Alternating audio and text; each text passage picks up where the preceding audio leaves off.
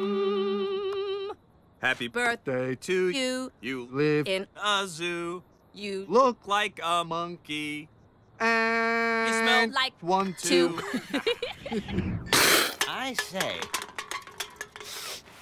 Ah, well.